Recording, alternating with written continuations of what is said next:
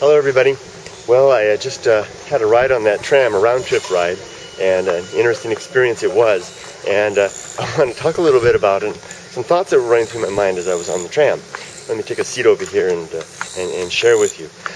Um, I finished a book uh, last week titled um, Japan, the Childless Society.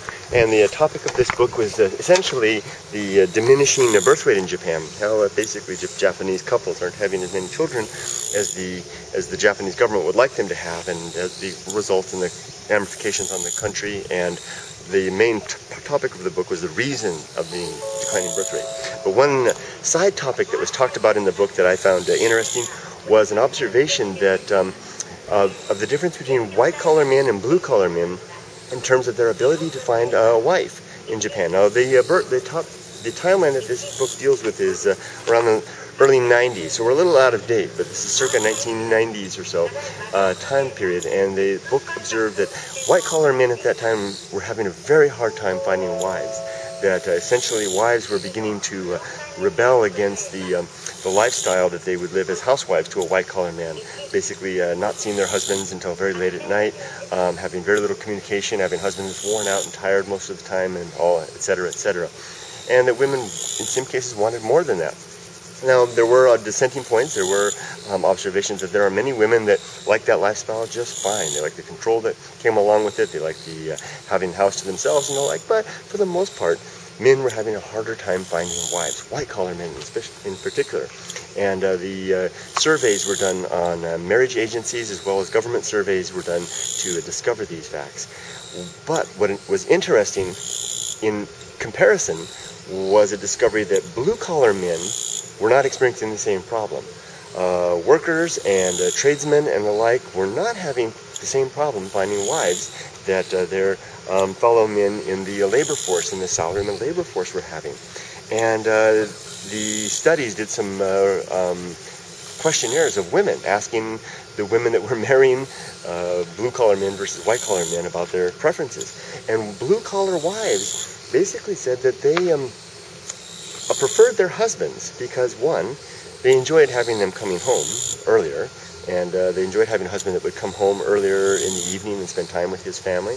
And number two, and this is the one that was really striking to me, they found that the uh, blue collar men were basically more fun.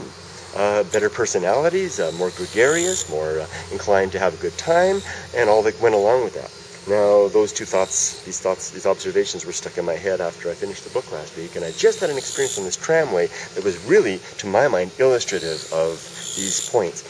Now, the trip I took down, it's a very small train car. You just saw it in the picture just a moment ago. We can fit about 25 people maybe in there if we pack them in.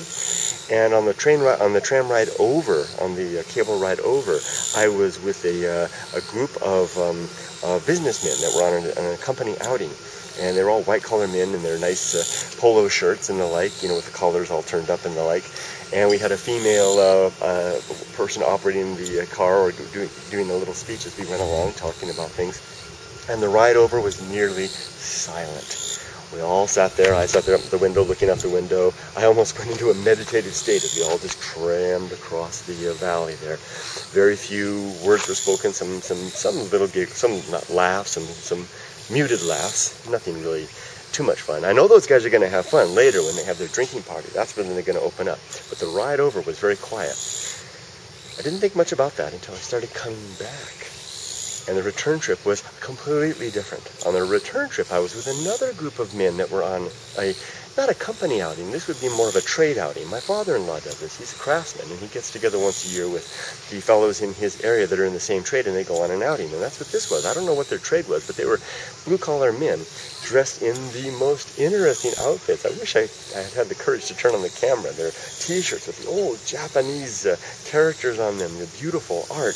The hair was beautiful, just really nice. The butch haircuts and, and you know, big buff guys. These are probably outdoorsy guys that are working outdoors doing something construction or something like that.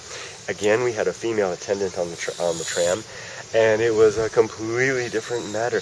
These men, were, they were full of life. Uh, they hadn't even been drinking it. I couldn't smell a, a, bit of alcohol in their breath in the car at all. But they were living it up. They were commenting on things, having fun, joking with each other, flirting with the, the woman that was in attendance, and she was clearly having a very good time. Uh, she was enjoying their, their, their attentions and enjoying the ride over. In fact, she even gave up, and this is really rare, she gave up her scripted speech, which I've heard many times. I take this tram all the time, at least once a month, and I've never heard them stop their scripted speech. She even gave up her scripted speech to enjoy the banter with these men. By the time we got to the end of the tramway and they opened the door, everybody, including me, was really regretting that this was over. This was a fun bunch of guys. So after I stepped out of the train, just 30 seconds before I turned the camera on, these thoughts were clear in my mind.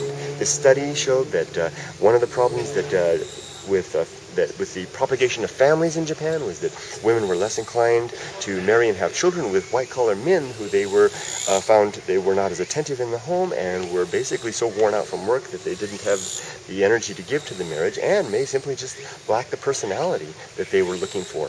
Whereas blue-collar men seem to have all of that in spades. Now these are generalizations, of course, uh, you know, all the things that go with generalizations, but there you go. I just saw it in force right there.